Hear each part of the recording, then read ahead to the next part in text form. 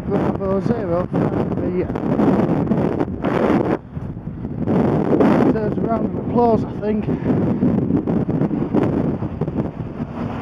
Or maybe just overtake me again I'm happy with that.